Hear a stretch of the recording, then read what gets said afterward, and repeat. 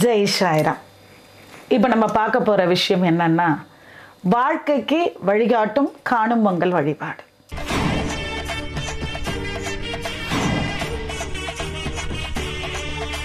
தை பிறந்துச்சு பொங்கலை பார்த்துட்டோம் மாட்டு பொங்கலை பார்த்துட்டோம் இப்போ காணும் பொங்கல். இந்த காணும் பொங்கல் என்னக்கூடிய நாளை நம்ம எல்லாரும் என்ன நினச்சிட்டு இருக்கோம் அப்படின்னா நல்லா வீட்டில் வந்து பொங்கல் வச்சு சாப்பிட்டுட்டு வெளியே போய் சில இடங்களுக்கு சுற்றி பார்க்கக்கூடியது அப்படின்னு நினச்சிட்ருக்கோம். ஆனால் நம் முன்னோர்கள் இந்த காணும் பொங்கலை அதாவது சித்தர்களாக இருக்கட்டும் சர்க்குருவாக இருக்கட்டும் ஜெகத்குருவாக இருக்கட்டும் மகான்களாக இருக்கட்டும் இந்த நாட்களில் அவங்கெல்லாம் நமக்கு என்ன சொல்ல வராங்கன்றது தான் இப்போ நம்ம பார்க்க போகிற விஷயம். இந்த சித்தராக இருக்கட்டும் சர்க்குருவாக இருக்கட்டும் ஜெகத்குருவாக இருக்கட்டும் மகான்களாக இருக்கட்டும். இந்த காணும் பொங்கல் நாளில் இந்த இவங்களெல்லாம் நம்ம வழிபாடு செய்கிறோன்னும் போது அவர்கள் என்ன பண்ணுறாங்களான்னா முப்பது வருடங்கள் நமக்கு என்ன கொடுக்குறாங்களான்னா ஒரு குருகுல வாசத்தில் குருவுக்கு சேவை செய்து அவரிடத்திலிருந்து பல மந்திரங்களை பெற்று அந்த மந்திரங்களை வந்து உச்சாடனம் செய்த பலனை உடனே கொடுக்குறாங்களாம். இப்போது லாக்டவுன் நேரம். நம்ம வந்து பார்த்திங்கன்னா ஒரு ஆலயத்திற்கோ ஒரு மகான்கள் சித்தி அடைஞ்ச அந்த சமாதி இடத்திற்கோ செல்ல நம்மளுக்கு வழி இல்லை. ஏன்னா பார்த்தீங்க அப்படின்னா கண்டிப்பாக காணும் பொங்கல் அன்னைக்கு சித்தர்கள் இருக்கக்கூடிய இடங்கள் மகான்கள் இருக்கக்கூடிய இடங்கள் சர்க்குரு ஜெகத்குரு இவங்கக்கிட்டெல்லாம் போய் ஆசீர்வாதங்களை பெறக்கூடிய நாள் தான் காணும் பொங்கல் நாள். வழிகாட்டுதல் ரொம்ப முக்கியம். நம்ம கையை பிடிச்சி கூட்டிகிட்டு போகிறதுக்கு ஒரு ஆள் இருக்கணும். அது ரொம்ப ரொம்ப முக்கியம். அப்படிப்பட்ட நன்னாளில் இந்த லாக்டவுனால் நம்ம செய்யக்கூடிய பூஜை முறைகளை தெரிஞ்சுக்கிட்டாலும் அறிஞ்சுக்கிட்டாலும் செய்ய முடியாத சூழ்நிலை. இதில் ஒரு பெரிய விஷயம் என்னென்னா இருக்கக்கூடிய இடத்துலையே நீங்கள் எளிய முறையில் செய்யக்கூடிய ஒரு விஷயத்தையும் வந்து சொல்லியிருக்காங்க. இதில் ஒரு அற்புதமான ஒரு தகவலை நான் கொடுக்கணும். என்னன்னா காசியில் இருக்கக்கூடிய அன்னபூரணி வருடத்துக்கு ஒரு நாள் யாக்கிய வல்கியர்னா கூடிய ஒரு மகரிஷிக்கு அன்னம் கொடுக்கக்கூடிய நாள் தான் இந்த காணும் பொங்கல்.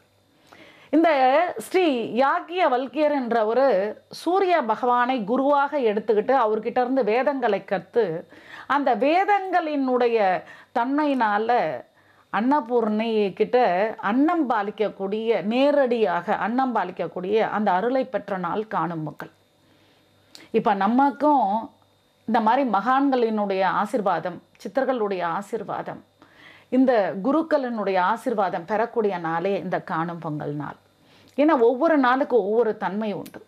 சூரிய பகவானை வருடத்தில் நான்கு நாட்கள் குளிர வைக்கக்கூடிய ஒரு தினமாக தான் இந்த பொங்கல் தினம் நமக்கு அமையுது.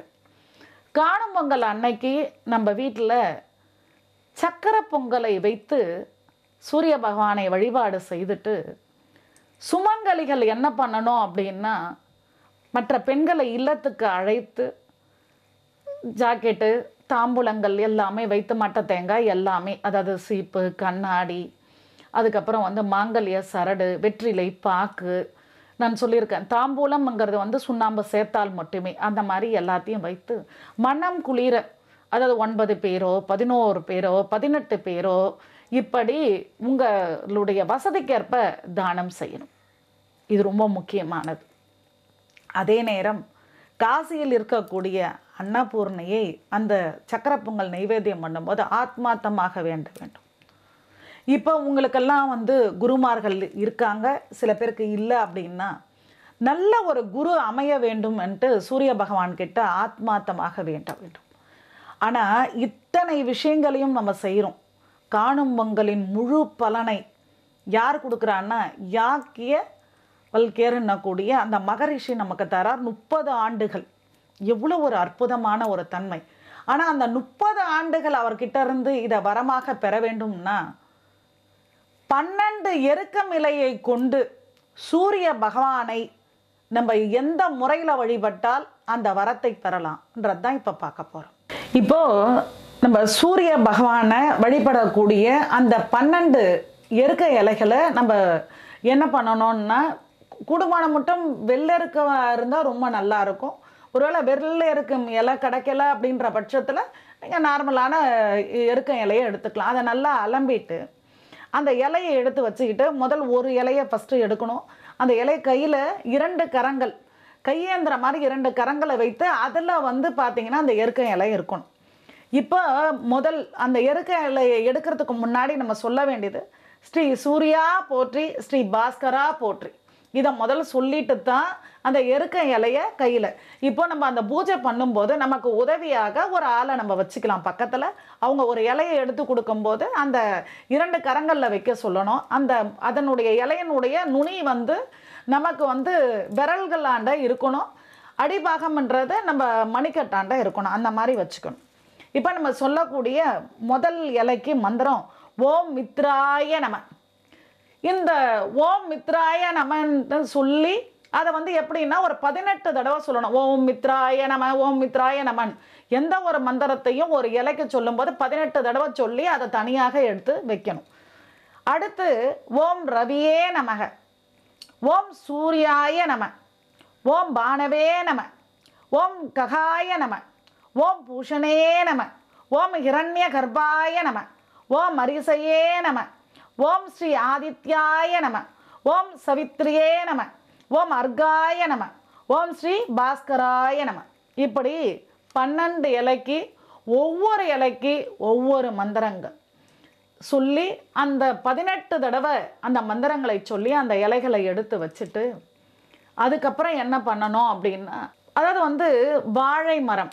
இப்போ வாழைத்தோப்பாக இருக்கலாம் இல்லை வீட்லேயே வாழை மரம் இருக்கலாம் இல்லை ஆலயத்துக்கு போக முடியாத நம்ம வேறு எங்கேயாவது வாழை மரம் இருந்தால் அந்த இடத்துலையோ அப்படி இல்லைன்னா அத்தி மரம் அதுக்கப்புறம் ஆலமரம் அரச மரம் இருக்கக்கூடிய இடமா அதாவது விருட்சமாக இருக்க வேண்டும். இந்த விருட்சத்தாண்ட என்ன பண்ணணும் அப்படின்னா ஒரு புது துண்டு ஆரஞ்சு வண்ணமாக இருக்க வேண்டும். அந்த துண்டை எடுத்துக்கிட்டு சந்தன குங்குமம் பத்தி அதுக்கப்புறம் வந்து பார்த்தீங்கன்னா சூடம் இதெல்லாம் எடுத்துக்கிட்டு அந்த இடத்துக்கு நம்ம கிளம்பணும்.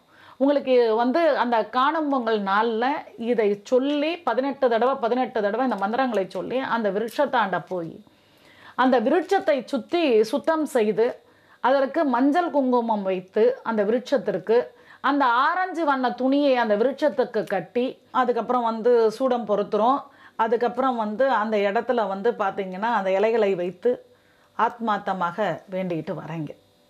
வேண்டிகிட்டு வரும்போது உங்களுடைய வாழ்க்கையில் அந்த குருவருளும் இருக்கும் திருவருளும் இருக்கும். அது மட்டும் இல்லாமல் அன்னத்திற்கு குறை இருக்காது. அந்த வழிபாடு செய்கிறவங்க முப்பது வருடங்கள் அதாவது வந்து முப்பது வருடங்கள் வந்து பார்த்தீங்க அப்படின்னா ஒரு குருவினுடைய ஆசிரமத்தில் தங்கி அந்த குருவுக்கு சேவை செய்து அந்த குருவினுடைய அருளை பெற்றவங்களுக்கு மட்டும்தான் இந்த பாக்கியம் கிடைக்கும்.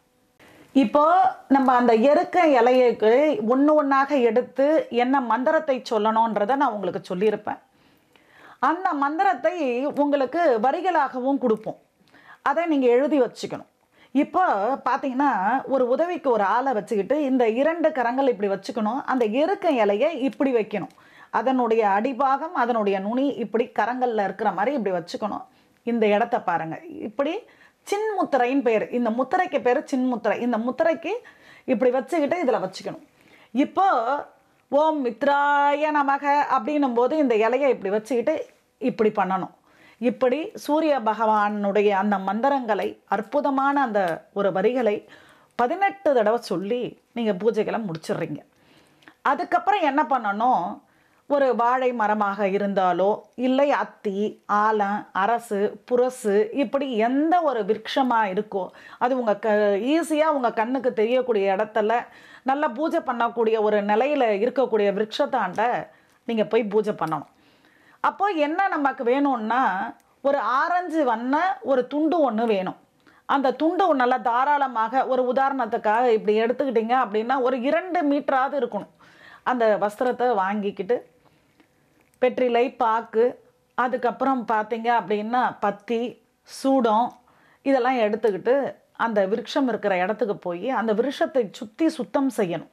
சுத்தம் செஞ்சுட்டு அந்த இடத்துல மஞ்சள் குங்குமம் வைத்து இந்த பத்தியை பொருத்தி அந்த தூப தீபங்களை அந்த இடத்தில் காட்டி புஷ்பத்தை எடுத்து அங்கே போட்டு இந்த இலைகள் பன்னெண்டு இலைகளை அந்த இடத்துல சுத்தம் பண்ண அந்த இடத்துல வைத்து ஆத்மாத்தமாக சித்தர்களையும் சர்க்குருவையும் ஜகத்குருவையும் அது மட்டும் இல்லாமல் மகான்களையும் ஆத்மார்த்தமாக அந்த இடத்துல வேண்டணும். முடிஞ்சால் ஒரு பத்து நிமிஷம் கண்ணை மூடிக்கிட்டு அப்படியே ஏதாவது ஒரு மந்திரத்தை சொல்லுங்க. இந்த பூஜையின் வழிபாட்டின் தன்மையாகப்பட்டது ஸ்ரீ யாக்கிய வல்கியர் இருக்கார் இல்லையா? அவருடைய அன்னகிரகத்தை பெறுறதோட மட்டும் இல்லாமல் இத்தனை குருமார்களினுடைய அருளையும் பெற்று முப்பது வருடங்கள் குருவினுக்கு வந்து பக்கத்தில் இருந்து சேவை செய்து அவர் கொடுத்த அந்த மந்திரங்களை வேதங்களை அதை முறையாக கற்றிருந்தோன்னா அதனுடைய தன்மையின் அதனுடைய பலாபலன்கள் அனைத்தும் முப்பது வருடங்கள் நமக்கு வேலை செய்யும். இப்படி முப்பது வருடங்கள் வேலை செய்யக்கூடிய இந்த அற்புதமான சூரிய பகவானின் வழிபாட்டு முறைகளில் தான தர்மங்கள் ரொம்ப முக்கியமாக இருக்குது காணும் பொங்கல் அன்னைக்கு. அதாவது நம்ம எல்லாருக்கும் தெரிஞ்ச விஷயந்தான் காணும் பொங்கல் அன்னைக்கு பாருங்கள் நம்ம சொந்த பந்தங்கள் பெரியவங்க யாரெல்லாம் இருக்காங்களோ அவங்க காலில் போய் நம்ம விழுவோம். விழும்போது அவங்க பொங்கல் ஏனா காணும் பொங்கல் ஏனான்னு சொல்லுவாங்க அது பேர். அந்த காசை நம்ம கையில் கொடுப்பாங்க. அவங்கவுங்க வசதிக்கு ஏற்ற மாதிரி. அதே நேரம் இந்த துப்புரவு வேலை பார்க்குறவங்க அதுக்கப்புறம் வந்து கடை வச்சுருக்கிற இடத்துலலாம் பார்த்தீங்க அப்படின்னா நிறைய பேர் அங்கே போய் ஐயா பொங்கல் ஏன்னா கொடுங்க ஐயா அப்படின்னு கேட்பாங்க. இந்த காணும் பொங்கல் அன்னைக்கு எல்லா கடைக்காரங்களும் அந்த இல்லைன்ற வார்த்தையை அவங்க வாயில் வராது. யார் போய் கேட்டாலும் உடனே அவங்களுக்கு அந்த காசை அவங்களால இயன்ற காசை கண்டிப்பாக தருவாங்க. அது ரொம்ப ஒரு மகிழ்ச்சியான ஒரு நாளாக இருக்கும் இந்த காணும் பொங்கல் நாள். எதனால் அப்படின்னா சின்ன குழந்தைகள்ல இருந்து வயதானவர்களுக்கு வரைக்கும் அன்னைக்கு அவங்க அவங்க உறவுக்காரங்க இனாமாக அந்த பணத்தை கொடுக்கக்கூடிய நன்னாள். ஆனால் எல்லாம் என்ன நினைக்கிறாங்க? அந்த காசை எடுத்து செலவு பண்ணோன்னு நினைக்கிறாங்க. நம்ம என்ன பண்ணணும்னா அப்படி பெரியவர்கள் பாதத்தில் விழுந்து ஆசீர்வாதத்தை வாங்கி அவங்க கொடுக்கக்கூடிய காசை எருக்கம் இலை அதில் வச்சு மடித்து எடுத்து பணம் புழங்கக்கூடிய இடத்துல எடுத்து வச்சிட்டோம்னா பண தட்டுப்பாடே இருக்காது பணத்திற்கு குறை இருக்காது. வசதி வாய்ப்புகள் பெருகும். ஏன்னா அன்னைக்கு அவங்க கொடுக்கக்கூடிய காசு சந்தோஷமான முறையில் கொடுக்கக்கூடிய பணம். அதற்கு தோஷங்கள் கிடையாது. அதற்கு வளர்ச்சி மட்டுமே உண்டு. காரணம் சூரிய பகவானின் அனுகிரகத்தை பெற்று மகான்களின் ஆசிர்வாதத்தை பெற்று நம்ம வாழ்க்கையில் அவ்வளோ ஒரு சந்தோஷமான நிலையை வந்து உண்டு பண்ணக்கூடிய அந்த அன்னத்தை வந்து தாரை வாத்து கொடுக்கக்கூடிய அந்த அன்னபூரணின் அருளையும் பெ பெறக்கூடிய ஒரு தன்மை. காசிக்கு போக முடியுமான்னா போக முடியாது.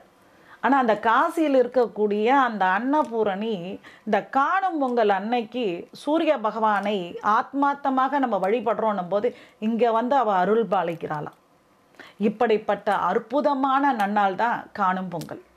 எல்லோருமே இதை வேற மாதிரியான விஷயங்களாக கொண்டு போயிட்டாங்க. இந்த முறையில் தான் நம் முன்னோர்கள் வழிபாடு செய்தார்கள். இந்த முறையில் தான் நமக்கு வந்து மகான்கள் வழிகாட்டியிருக்காங்க. இந்த அற்புதமான இந்த காணும் பொங்கலை அதாவது உபயோகமாக அதே நேரம் நம் வாழ்க்கையில் வளம் கொடுக்கக்கூடிய நன்னாளாக மாற்றி முப்பது வருட பலனை அற்புதமான முறையில் நீங்கள் பெறறதுக்கு தான். என் குரு எனக்கு சொன்ன அந்த வழிபாட்டு முறையை உங்களுக்கு நான் தாரவாத்து கொடுக்குறேன். இதை பயன்படுத்தி வாழ்க்கையை வளப்படுத்துங்க நலப்படுத்துங்க. ஜெய் ஷாய்ராம் தான் தோன்றி ருத்ரஸ்ரீ சீரடி சாய்பாபா ஆயுர் தேவி ரிஷிகள் பீடம். எண் இருபத்தி ஐந்து பவானி நகர் பேரமனூர் சாமியார் கேட் மறைமலை நகர் செல் ஏழு இரண்டு ஒன்பது ஒன்பது ஐந்து பூஜ்ஜியம்.